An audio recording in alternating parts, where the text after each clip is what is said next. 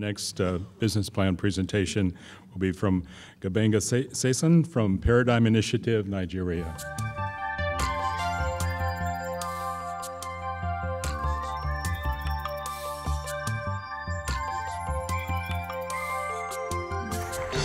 Good morning. Let's face it, I shouldn't be here today. I say that because about 17 years ago, I was a young man in secondary school, high school, who knew that his destiny was to end up somewhere at the bottom of the pyramid, way below the poverty line. But something happened to me. While I was in secondary school, our school got some things. I didn't know what they were, but eventually I found out that they were computers. I wanted to learn how to use them, but the teacher told me straight, looking in my eyes, and said, You can't learn how to use them. They're too complex for you. But the reason was because he didn't know how to use the computers himself. So it was easy for him to say, I would never know how to use the computers. But I made up my mind I would learn how to use the computers. And somehow I got really curious. I learned how to use computers, and it changed my life. One email, one essay competition, and then I got the International Telecoms Union Fellowship traveled to South Africa in 2001, and I returned to Nigeria with a promise. And the promise was if this thing, in quotes, called technology, could change my life the way it did, then I would extend this opportunity to as many young Nigerians as possible. And that is why, sometime 2007, after I earned enough money, I thought it was enough money to change the world at the time, I resigned from paid employment and chose to start Paradigm Initiative Nigeria. And the vision was very simple. Help the 30 million plus young Nigerians, who, by the way, might even be way below the poverty line where I was, to get above that poverty line and increase the productivity of the country and eventually be able to help the country and not just the country themselves and their families. And that is why one of the key problems we have in Nigeria today is unemployment. A Minister of Education recently said that 10% of university graduates, university graduates, would get a job two years after leaving school. What did the 90% do? What did the other millions of young people who don't even have the chance to go to university do? One of the reasons why I love to talk about Nigeria is because we're quite popular. Unfortunately, popular for the wrong reasons. Chances are that some of you in this room have received emails sometime in the last few hours from somebody who claims to be a Nigerian prince and is promising you millions of dollars and has promised to return some to you. Now, those are the problems. These are frustrated young people who have assumed that they would never get a job anyway and have consoled themselves that, well, at least if I defraud somebody, I can get something done. I was lucky. Destiny and Funke are not as lucky as I am. The parents have told them, well, you've gone through secondary school. I've tried my best. Let's save some money. Let me allow your younger ones to also go to secondary school, and we can continue like that. And that's why the value proposition of what we do is to empower these young people with ICT, entrepreneurship, and life skills so that at least they can improve their livelihoods. And what we've seen happen is when they improve their lives, they also improve the lives of their own families. And we've got a huge waiting list. Since we started the program, we you know, we basically have at least four times the number of applications than we can actually train. And we take them through a process which we have called ajegunle.org. Ajegunle is the name of the most popular slum in Nigeria. And Ajegunle, by the way, even though it's a slum known with crime, the meaning of that name in our local language is wealth resides here. What an irony. And we, we will have 180 graduates by the end of the year. We have a high completion rate because these are young people who have seen other people who went through the program and are willing to have their lives changed also. The way the program works is that they can't afford to pay for the training anyway. So we allow them to come on the training. We defer the payment. It's a deferred payment model where when they start earning an income, they pay 10% back to the project. And of course, you can be sure they're glad to pay that because they were basically earning $0. And now, on the average, they earn about $1,200 in a year, which is averagely about $100 in a month. We've got a couple of partners at the moment because of what we do, and one of the key partners we have is Microsoft that has become very interested in the problem of cybercrime. And one of the things we intend to do eventually is to work with these people that are locally called Yahoo Yahoo boys and girls, who are the cyber criminals, to train them using the same model that we use presently at ajegunle.org. And what we basically do is we invite the young people, you know, we introduce them to the project, and one critical part of what we do now is to interview them, to ask them questions. Because we want to be sure that the people we're training are those who, after going through the process, will be able to have enough passion and conviction to also be able to train other people. And of course, we have an orientation program where what we do is basically invite trainees who have become graduates of the project to come talk to them. And that makes it very interesting because one year ago, Destiny used to know Famous. And he knew Famous was just as disadvantaged as him. But now he knows that Famous has gone through a process that have made him become what in Nigeria you would call a big boy, and he also wants to become himself a big boy. And so we take him to an ICT training program, entrepreneurship training, and one of the key things we say to them is entrepreneurship is not about waiting for your first huge capital to start a business. Start with what, we can, what you can do right now. And some of them have started with things as simple as those who can make shoes and are beginning to earn income from that now. And of course, when they start earning an income, we try as much as possible to connect every graduate with an internship opportunity. And the reason we do that is because if we train them and throw them out there, we leave them worse than they were because then they get frustrated again.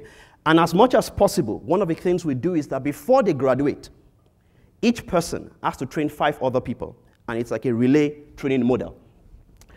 What we want to do now is we want to do this beyond the present location where we are, which is Ajegunle. We have seen that it work, this works in Ajegunle. And you know what I say to people is that if this can work in Ajegunle, then it probably can work anywhere else in Nigeria. We want to get into the six zones in Nigeria. We want to strengthen our strategic alliances so that possibly we can work, instead of, we need a facility that can train a lot of people, but instead of paying to get a facility like that, we can get a university that can partner with us to take to give us the space. We want to grow our job placement capacity so that everybody who goes through the training is able to get a place where they can start off. We can connect them with the world of work. And of course, one of the key things we can do to achieve that is to start deploying ICT services ourselves because we have all those graduates that we have trained that we're trying to place in different companies. But if we are able to start working with them and send them out as, in quotes, consultants to work with other organizations, then we can also earn an income from that process. And we also have the opportunity of training them with you know, advanced training for our graduates, which means that they have earned income and now they can pay back. And this is what our financials look like, you know, our figures look like at the moment. And multiplying this opportunity, by the way, I should tell you that Destiny, who has now gone through the training, us, gone through an internship, uh, has an internship opportunity to work with a financial services company. And also, the same thing with Funke. Funke, after our internship program, was able to use the knowledge that she gained while she was an intern to build a small business. She got a loan of about 2,000 naira, which of course is very small, $33, and she has grown that to a, you know, by about 2,000% now. Over the next five years, four to five years, we're looking at 6,500 people who will be able to tell their stories just like Deborah and like Funke, who will, of course, in turn train about 32,500 people. And we want to be able to grow the income of our graduates from, it used to be $0 basically, and now they earn an average of $3. We want to be able to grow that to at least about $6. And for this, we need grants of about $200 every year for the next four to five years. And one of the key things that we've been able to do in the last few years is put together this publication called Echoes from Ajegunle. And it basically chronicles the stories of young people who have gone through the training and they are now telling other young people and anyone who cares to listen how their lives have been transformed. And I know how they feel when they tell the stories because I've been there. Thank you. Gbenga, very well delivered. Love the energy, love you know, the way you articulated your business. Uh, I wondered, uh, as I was listening to you, whether or not there was a local language translation for Monster Job Board. because I think that you're right at the crossroads of uh, how young people who are now trained and skilled and perhaps even doing an internship providing value to a local business, you're right at the crossroads to how they get employed. The other uh, thought I had was if you were starting to control more of that employment or placement into a real job rather than just an internship, a pretty easy step, I think, if you're already doing the internship placement, uh, you can control the quality of the uh, how well the, the, employee has or your class um, uh, student has been uh, has been uh, performing his work. The final thing is, it occurs to me, certainly is true in, in other economic uh, areas, that the employer might pay you for the privilege of hiring a worker, especially if they've already had a chance to try the, the, the worker in an internship. So you may consider that as a piece of your uh, business model. Uh, Sue, I'll turn it to you. Sure. I, I have to agree. It was a very engaging presentation, and I loved your use of humor uh, and stories. Uh, one of the things that, that comes across to me uh, is that you are talking about training, and it, it- it doesn't come across clearly as to where they go after. And it, it- it sort of builds off of what John was saying, which is you are now only getting them into internships, but where are those internships and what does it mean?